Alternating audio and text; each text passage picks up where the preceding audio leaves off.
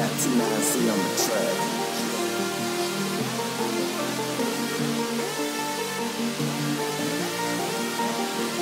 I don't know what it is about